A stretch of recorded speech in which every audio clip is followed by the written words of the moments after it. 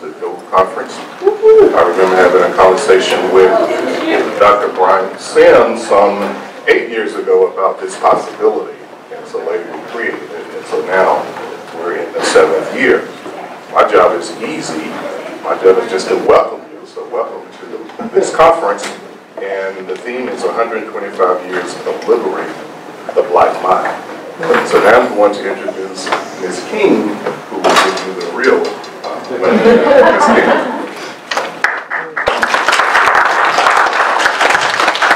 everybody. We're so excited to um, have you out here with us this morning. Good morning, Aggie, Aggie's friends, and our streaming audience that we have today. My name is Michaela King, and I'm the president of the Psychology Club here at North Carolina A&T. We would like to welcome you all this morning to the 7th Annual Dialogue on Progressive Enlightenment, or also known as DOPE Conference. The Dialogue on Progressive Enlightenment Conference represents an effort to foster meaningful interdisciplinary discussion on community enlightenment between individuals. It simultaneously acknowledges that one, the fundamental responsibility of the individual is to seek out, embrace, and manifest the truth, and two, the burdensome obstacles that the educational institutions often present for African people. Thus, the DOPE mission is to, is to use natural human intellectual capital to redefine and refocus the power of educational enlightenment for adaptive, healthful, and vibrant living. Thanks again, and we hope everyone enjoys this day of enlightenment. And I'd also like to go ahead and introduce our first speaker, um, Dr. Dawn, Dr. X. Henderson. So, Dr. Dawn X. Henderson, aka Professor X, received her PhD in psychology from the North Carolina State from North Carolina State University with a concentration in community psychology. She is an assistant professor in the Department of Psychological Sciences at Winston-Salem State University.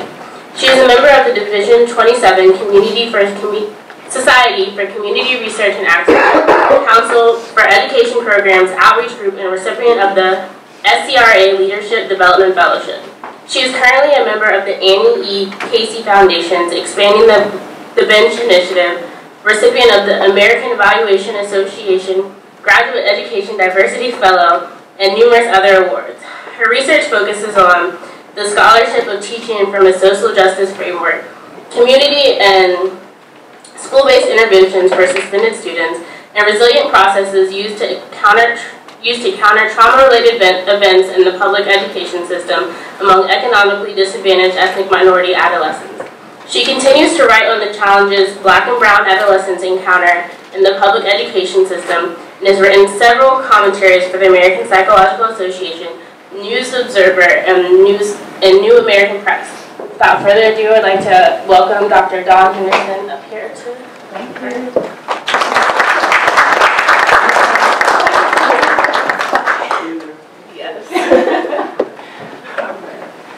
All right, so good morning, everyone. How's everybody doing? All right, so it's an honor to uh, be here, um, to be a part of what I say this dope experience. It's, it's kind of sad. I've been at Winston-Salem State for four years, and this is my first time being uh, just in, in, in, terms of being a part of the, the culture and the young people. It also gives me great pride to stare into all of you young people's faces because as the person who is transitioning into the elder realm. I'm very excited and, and, willing to pass on the baton to our next group of young people. Um, so my particular uh, focus today is the idea of forging counter stories and counter spaces to the lost and turned out um, narrative that we often see among suspended youth. And I want to just give you an overview of my particular presentation because I'm hoping that we can have a little bit of dialogue. Of course, I will share some of my research, but I'm really looking to you as an audience to be engaged as we talk about this discussion on out-of-school suspension, looking at, again, how do we carve out counter stories and counter spaces, and what does that look like for young people and last but not least, thinking about the ways in which we can share knowledge, share knowledge around this particular issue, and how do we improve educational attainment among young people of color. So I'm really interested in stories. I'll ask you this. Why are stories important? Anyone? Yes. It's how our information gets passed down from generation to generation in an easier way. Okay, the ways in which we pass down information from generation to generation, I love that. Yes, sir. Um, it's a way that you don't forget. A way that you don't forget. The constant reminder, okay? Anybody else? Why are stories so important? We have psychology majors, raise your hand. Why do you think stories are so important?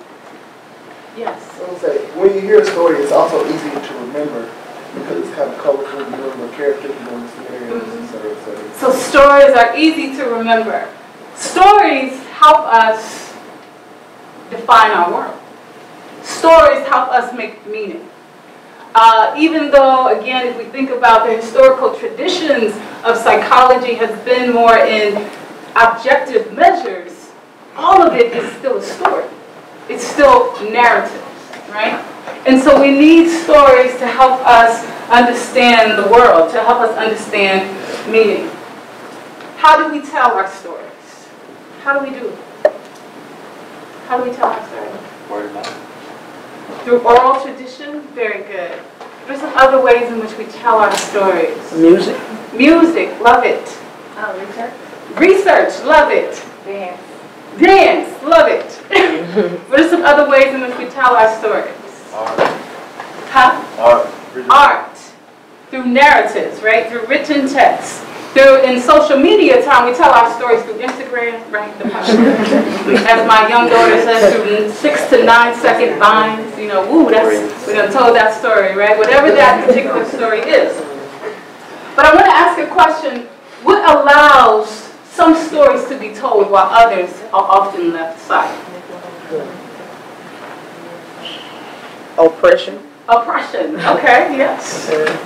Um, I think, I guess the privilege of having a, a voice that's, or I guess a medium to tell your story. So some people don't have access to those. So having the privilege, oppression, anyone else?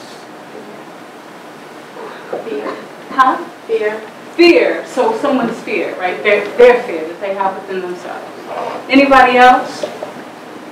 I would like to say, as a community psychologist, we always use systems language, so I would like to say power. Power and resources. When I have access to power, I can control the ways in which resources, stories are told, right? I can decide where they begin. I can decide who, dis- who accesses them, and I can decide how they are disseminated, right? So it's really important for us to think about a counter story. What do you think a counter story is? So we have a story, but now we're going to have a counter story. What is that?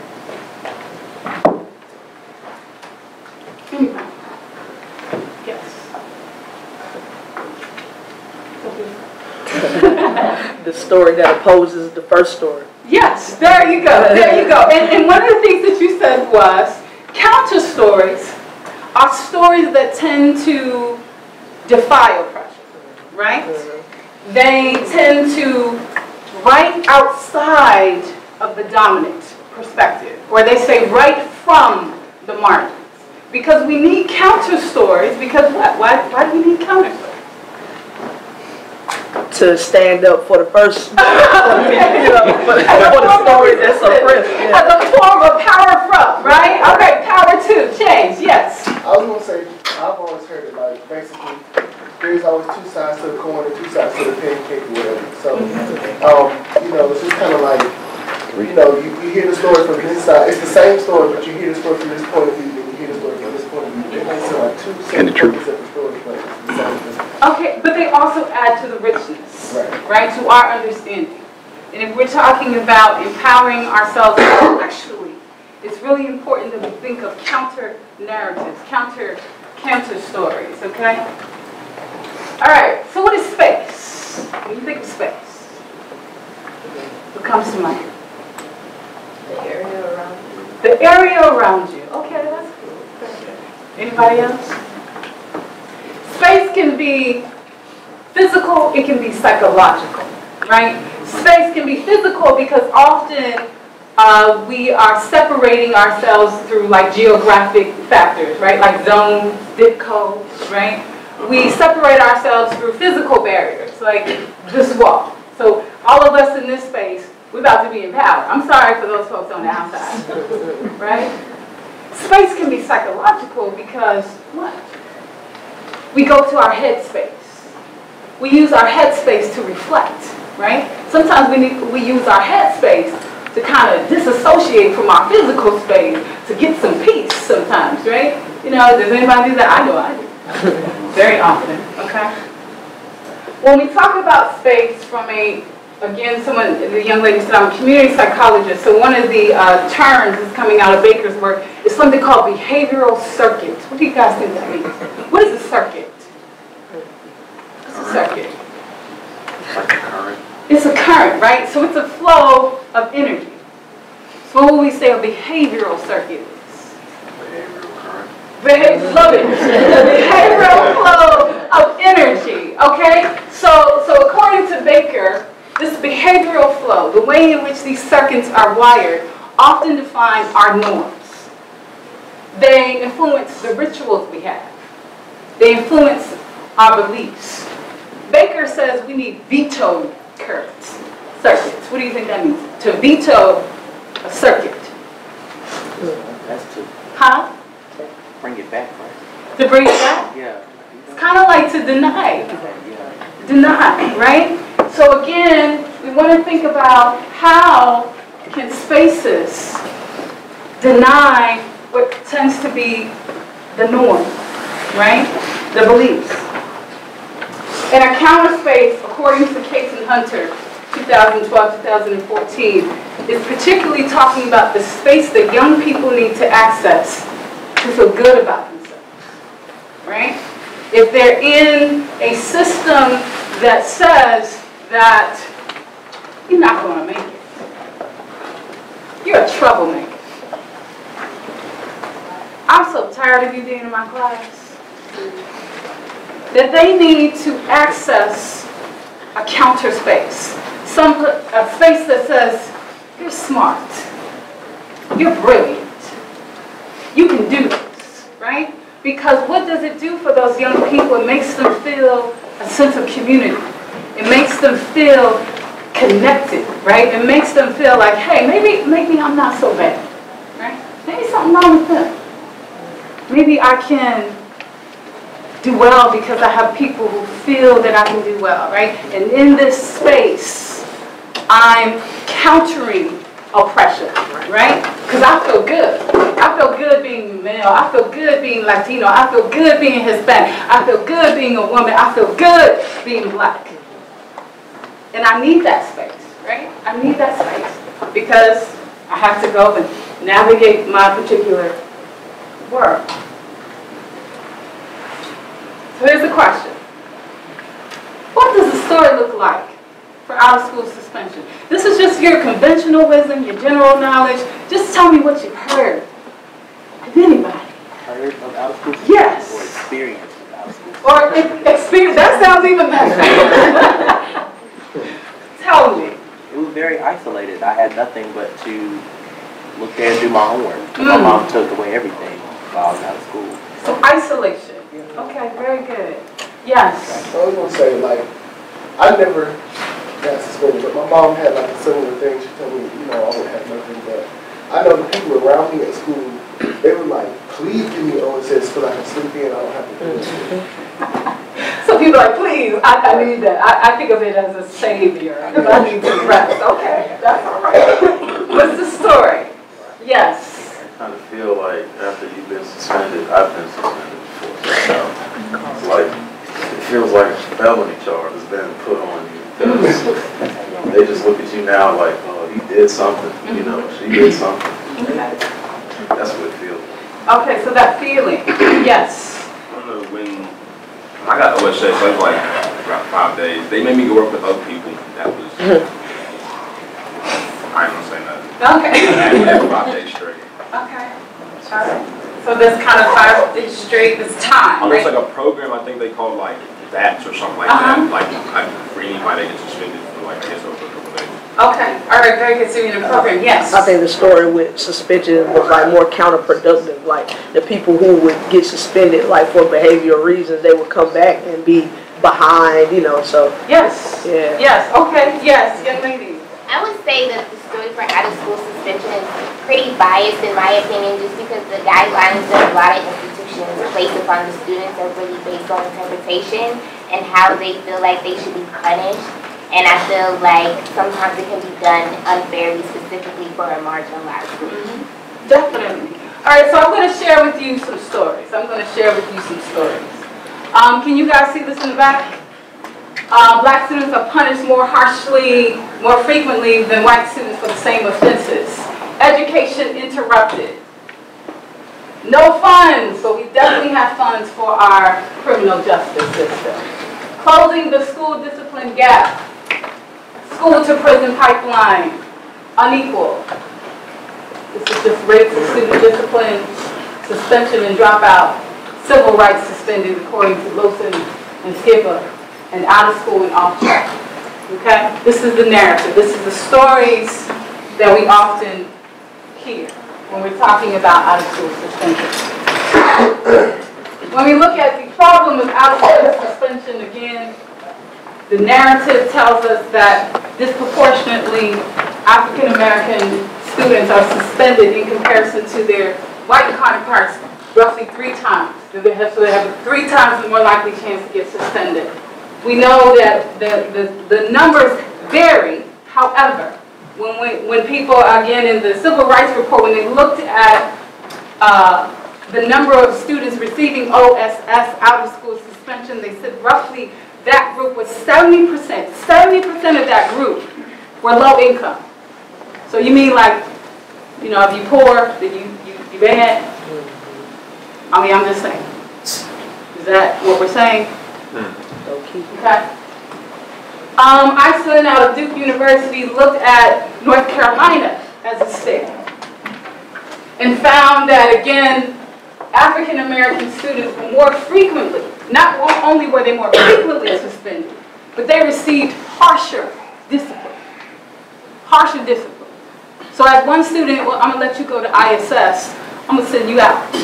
You're gonna get three, five days. Harsher discipline. And as the young lady said, we understand the risk. So when we are continuously, I want to say continuously, because you know, some of you say, well, I've been suspended once. Eh, but when we are continuously suspending young people, when you are continuously suspending young people who are going back to environments where their parents, their families do not have the economic resources for them to be engaged, where are they going? Anybody? Jail. Well, I hope not, not yet. Later on, that's the pipeline. They're young people. They want to feel connected. They're hanging out in the neighborhood. They're hanging out in their community. If there's no one there to engage them in pro-social behavior, we were all teens once. What's going to happen? What do you think? Oh, you may smoke a little marijuana. You smoke a little, maybe I, I use the, the wrong term, maybe you smoke a little weed. you like some young ladies? Maybe you, you know, y'all go off in the spot and, you know, enjoy each other. Okay? Maybe smoke some cigarettes. Maybe like twiddling thumbs, I ain't got nothing to do. The house over there looks really nice. Hmm. I saw so and so bringing a TV. I think I, I think I want that. Okay? If you're not engaged in pro-social activity. As you said, young lady, if you are continuously suspended, I do not provide an intervention. You said you were in a program, but I do not provide intervention for you. What happens? We already know you're missing school, right? So what happens? It leads to academic gaps. You come back after three or five days, you realize they done already touched on chapter two and three, and your teacher says, well, y'all have a test on Friday. What are you doing? You probably feel a little frustrated. And more than likely, the statistics say that those who tend to be suspended between two or three more times, they're more likely to be resuspended. Okay? And unfortunately, if you disengage, remember, as a community psychologist, we think about systems. So if I disengage from one system. I disengage from the school system. And I do not have other systems like family and community to say, hey, we, we refuse to let you be lost and turned out. We refuse. Then the way our systems are designed is we will engage you in another system. And that system is called the criminal justice system, the school to prison pipeline. So my particular work as a community psychologist, I have to think about how do I focus on prevention, right? So I understand this story, but are there some systems in place? Are there some interventions? Are there something that's helping these young people from not continuously to experience the tattooing of being lost and turned out? You know, the tattoo that goes right across the forehead. Or maybe the arm, maybe down the neck. Okay? Are there interventions in place that allow young people to be resilient, that promote this idea of psychosocial development, their efficacy, their sense of self, right? Their ethnic identity, their identity as young people. Are there systems in place to help them lead to engagement within the education system so that they are graduating, so that they are graduating, going on to college, so that they are graduating, going on to college, and then going on to graduate school, so that they're graduating, going on to college, and becoming PhDs, MDs, right?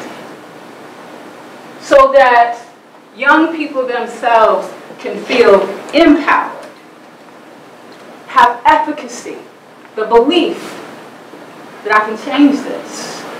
The belief that I can change this. So that's what my particular work is, and that's what I hope to share again with you today. So um, I've been doing this work since my, my dissertation actually was around a community-based program. So I've been doing this work for about four and a half years, four and a half years.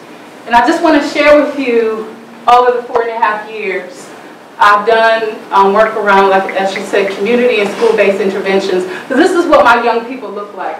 Um, roughly 63% of the young people that I've interviewed over the past four and a half years are African American Hispanic.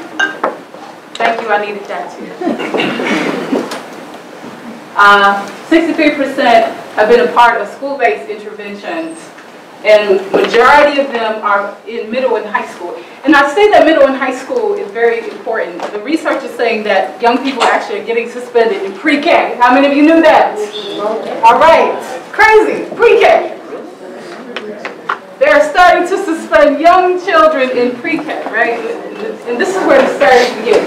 But middle and high school, the research in middle and high school is that it's transition periods. Uh, sixth grade, sixth grade and ninth grade has the highest rate of suspension. Why do you guys think sixth grade and ninth grade has the highest rates of suspension? They used to be the top dog, now the underdog. That's an interesting theory. Thank you. No one ever really thought about that. Yes. The transition between different schools. Okay. So the transition, yes. Say biological transition. Mm. The mind changes. So mm. The adolescent brain. Okay, very good. Anybody else? So I, I don't really know, but maybe, you know, you were singing? You graduated? Yes. I'm a junior. Okay. I'm a senior. Oh, I was thinking about maybe we work together. Okay. and 90% of these young people have lived in households whose annual income is less than 50000 a year. Some of you are like, 50000 that's pretty good. But accordingly, um, and again, this is depending on family size, and almost all of these students were more likely to be qualified for free and reduced lunch. So they, if they were not economically disadvantaged, they may have been in economically fragile households. Okay, economically fragile households. so what did I want to do today is talk about this counter story.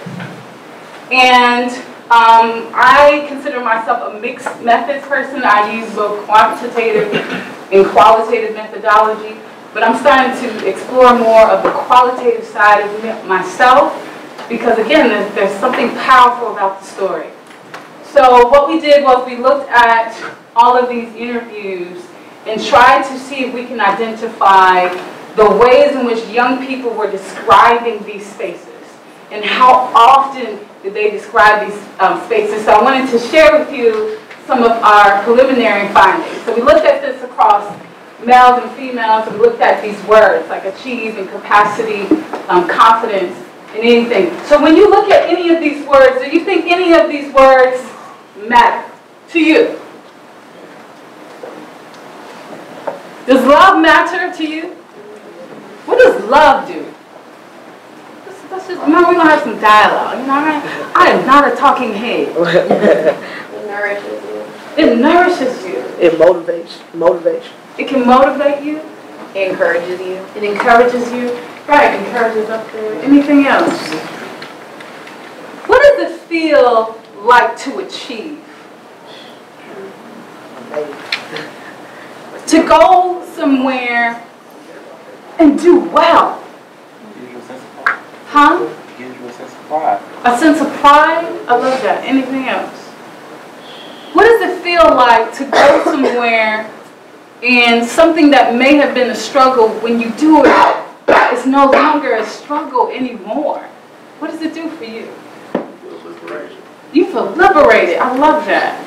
You know, it's like that calculus stuff. You know about. We can't use that language.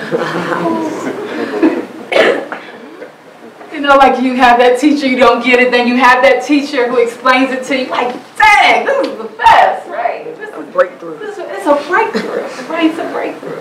Self-actualization. What about another frequent concept is support? What is support? Let me ask you guys, what does support do for you as college students?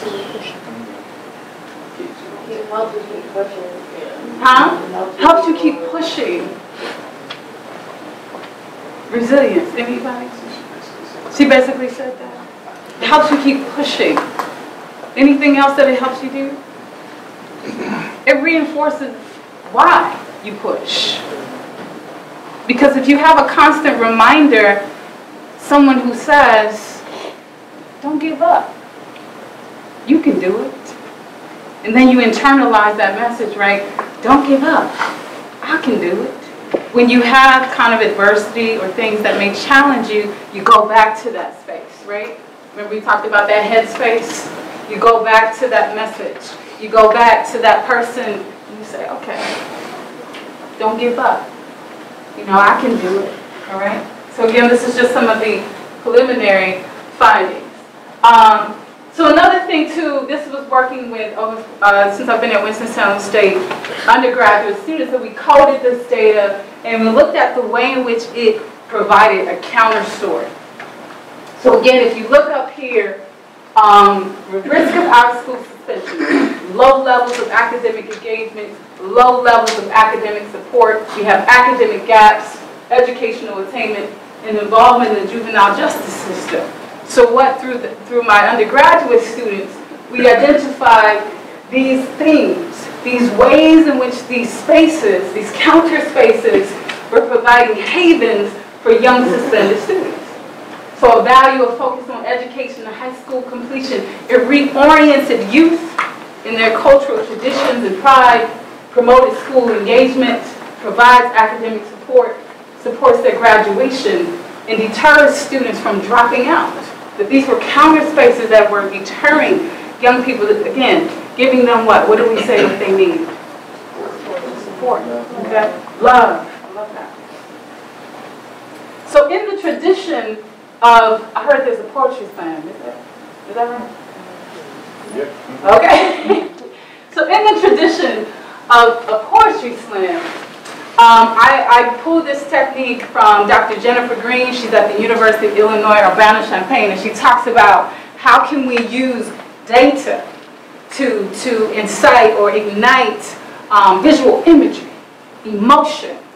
So we use the same narratives of the young people we suspended. I have two pieces that I want to share with you today to, uh, to, get, to do a poem. A poem.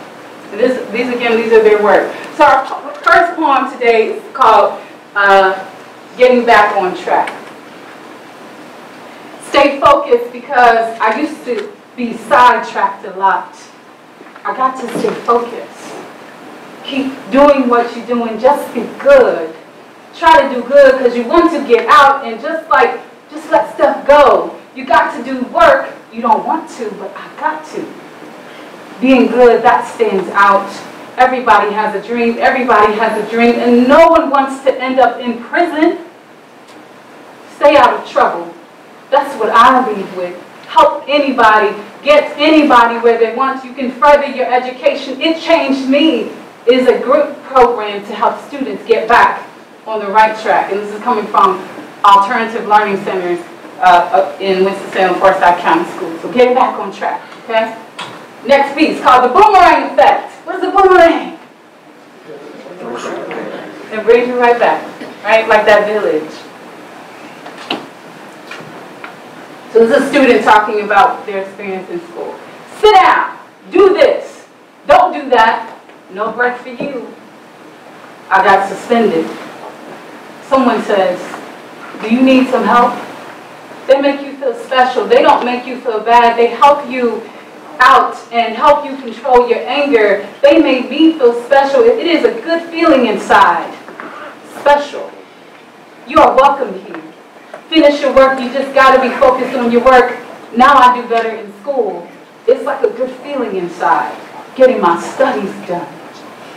Now I want to finish school. It is a good place to go. Give you a chance to turn your life around. The boomerang effect. Okay? Can we get more boomerang effect?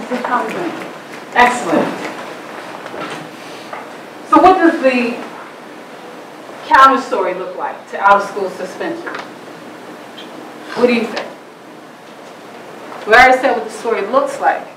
What does the counter story look like? Throw out some terms, some words. If we're creating a counter story to out of school suspension, if we're saying we no longer going to have people continue to tattoo on the minds of young people lost and turned out, then what does it look like? Love. Love. Support. Achievement. Encouragement. Encouragement. Determination. Anything else? I say it's diplomas. I say it's youth empowerment. I say education and attainment. I say it's every Hispanic student succeeding. I said it's academic success for African American students. It's youth engagement. It's equity. It's young, gifted, and black. It's what? Moving young people through the education pipeline. It is walking, it's standing in a crowd and watching a young person don their gown and be empowered. And not don the gown of I graduated from high school. Don the gown because I'm doctor now. We need champions. This is my call to you all. We need champions for a new story. We need people who are willing to take their voices into critical spaces for change in the criminal justice system, in the education system, in higher education, in health. We need to counter the narrative to this deficit perspective. Low educational attainment, high rates of suspension, the achievement gap. We need counter stories. We, we need to reorient our prevention back to the collectivist framework and the power of the village. That it really does take a village. We cannot rely on just the school system. We need to build the capacity of our families. We need to build the capacity of our community. That's the only way. We've been talking about this since roughly 1967. How many years ago was that? 40 plus years. Are we going to continue to talk about this 40 more years? And then 40 more years? Who knows? You know, I don't even know if the, you know, earth is working on herself, so, so we got to think about that. But we need champions for a new story. I want to acknowledge in closing my soldiers, and these are, again, these are what I call people who have boots on the ground, people who continue to advocate for young people. Uh, Dr. Gwen Johnson Greene she's with Winston-Salem Forsyth County Schools. Tammy Pfeiffer, she's the director of the Boomerang Program in uh, Chapel Hill. Thank you. That must be my club. I want to acknowledge uh, the research assistants I've had, uh, Andrea Lewis, Jasmine Davis, Mona Zahir, and Kadena Dawson.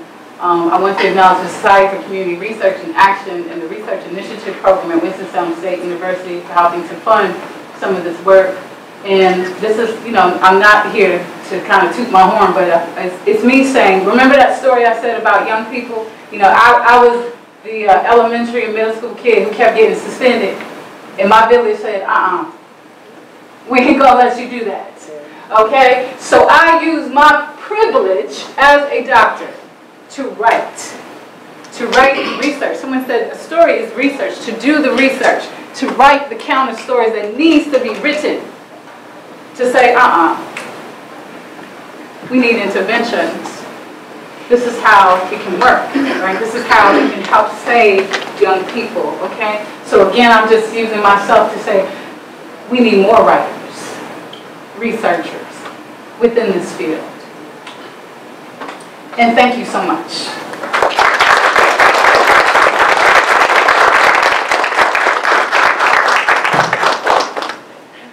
So I believe we're opening the floor for questions and answers. Okay.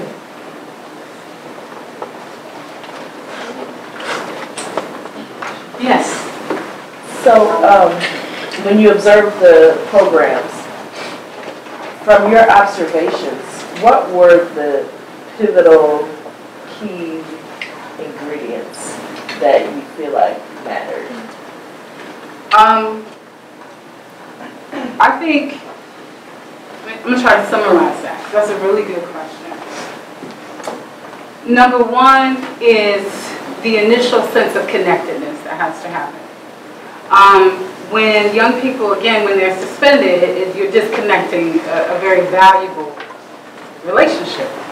And so one of the things that I observed actually in the Boomerang program, the first thing that they do after they have them fill out paperwork, they do something called the tree activity. And the tree activity, every student had to draw their tree. And in their roots of the tree was kind of like their um, challenges, right? But then in the leaves, they had to draw their aspirations, their goals, their dreams. And I saw how staff would engage in young people. And kind of that process, that initial process, I think was powerful, right? So that initial sense of connectedness. Um, the other thing, too, that I felt was highly important, and I talk about this, um, is the sense of autonomy.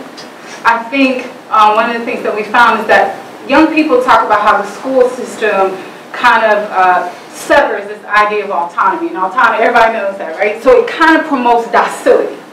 So when you come into a space and someone says, what would you like to do today? Something as basic as that, it's like, you're asking me? You sure? So that, that sense of autonomy is very um, valuable the other thing is the relationship with a, an adult advocate. That young people, despite what people, you know, some people say, I can do it by myself. Young people need an adult advocate. They need somebody they can continue to return to. And in the Boomerang program and also in, in the centers, the young people talked about, if I'm angry, I can go back to so-and-so, and they'll make me feel good.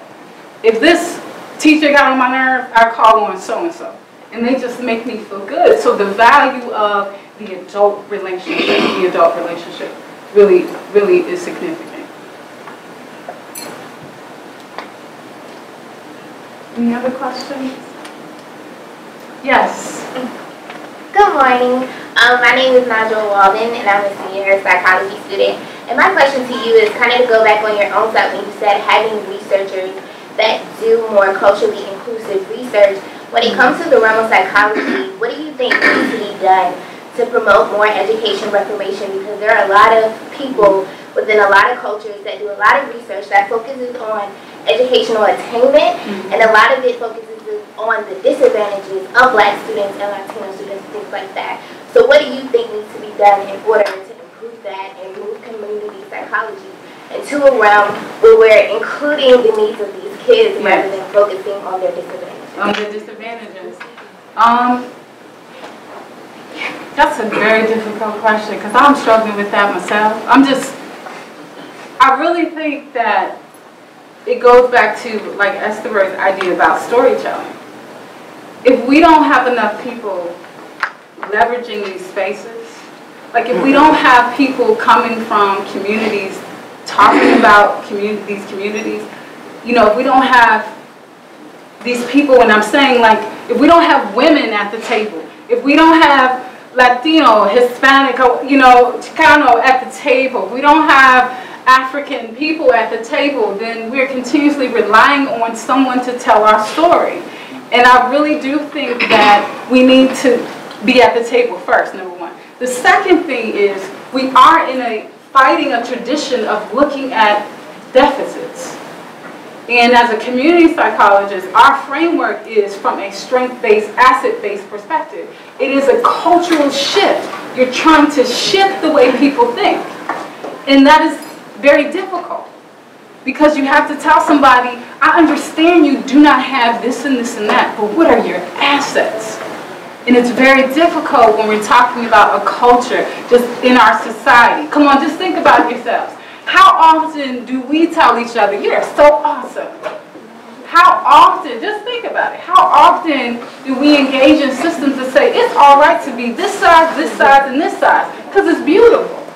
We're, we're part of a larger system that continuously challenges just us as individuals and continuously diminishes anything that's outside of the prototype.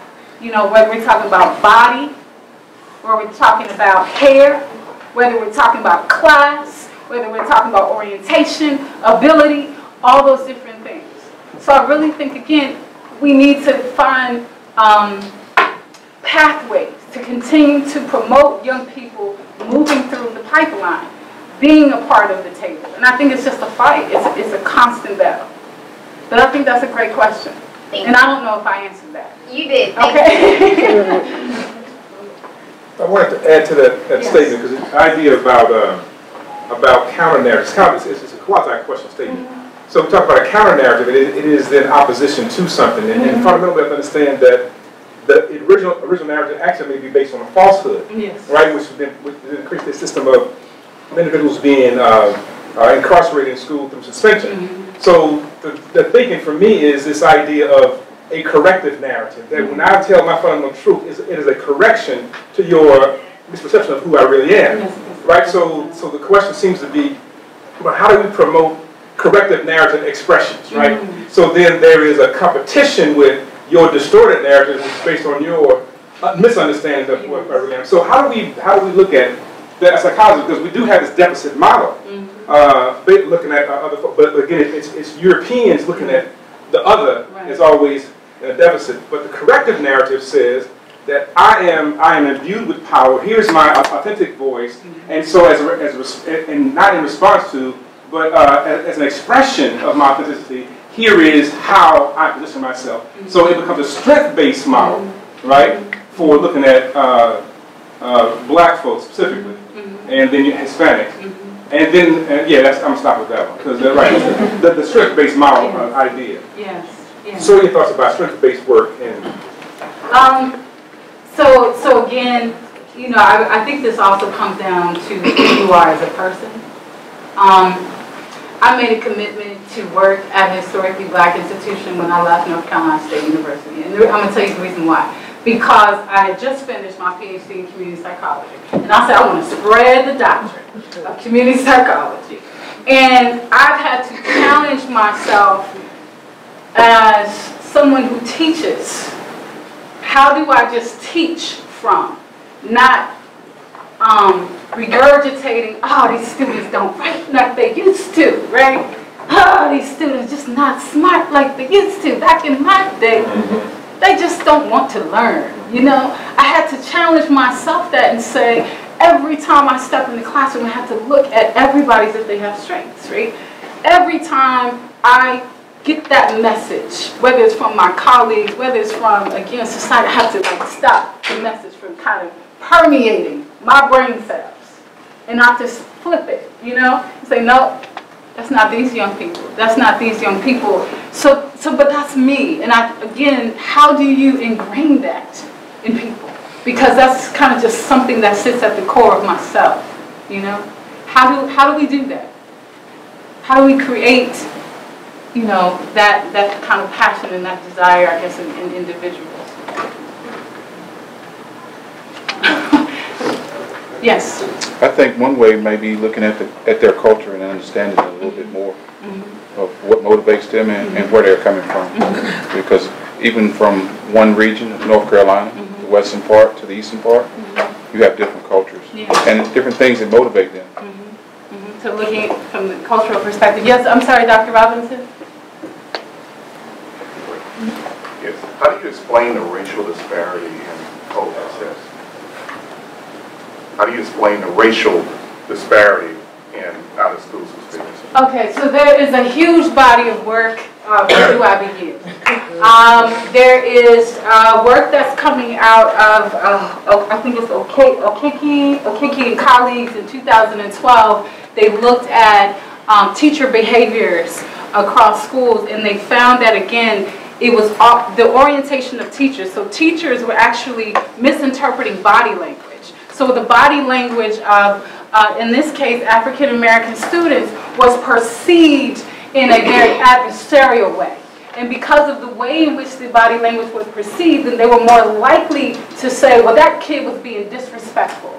So I think that there's a body of work talking about teacher orientation. Um, there's also looking at the discretionary practices in terms of the administrators. So assistant principals are actually the ones here in North Carolina that make the recommendation for a student to be suspended. And they found that oftentimes, again, assistant principals will use what they call mitigating circumstances. So they may say, oh, you know, let's say they, they did something, they had a school offense in ninth grade. Ass- Assistant principal would then pull up, let's say it's disrespect, will pull up their whole academic record and say, you know, you've been disrespectful, you got suspended or whatever.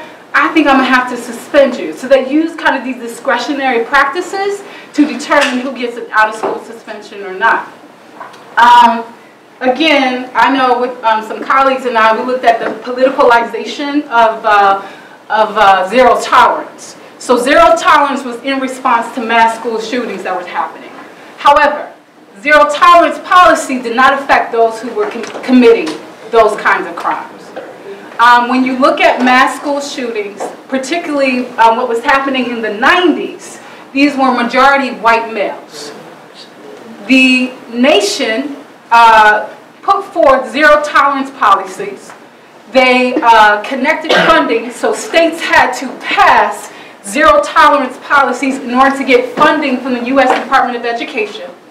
And the zero tolerance policies did not punish those who were committing those kinds of crimes. It actually, as we know, disproportionately punished kids of color. And in fact, the, the research, again, Carpenter Ramirez talked about the suspension was not even violent related suspensions. They were non-violent suspensions. So kids were being suspended for excessive noise, not being in what dress code violation, insubordination, disrespect. And this was, again, disproportionately affecting kids of color. We already talked about body language. So I think that there are a number of factors that uh, influence out-of-school suspension. There's a body of literature around that. Um, you know, I'm just coming from what I know, my, particular resource. Okay, that's it? Oh, no. Yeah, all right. Sorry. yeah, I think we gotta get ready for the next speaker. But I'm, I'm gonna Thank you.